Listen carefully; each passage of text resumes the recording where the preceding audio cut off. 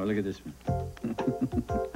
So your mother dressed you in short pants your first day of Yeah, school? with those little beanies with the propeller on top. I was adorable. Well, it takes a lot more to prepare your kid for school these days. Yeah, and you have to start a long time before the first day. Play games with your kid. Mm, spelling games, counting games. Read to your kid. Count the stars. Anything that makes learning fun.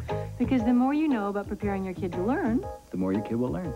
bet you had cute knees. Still do.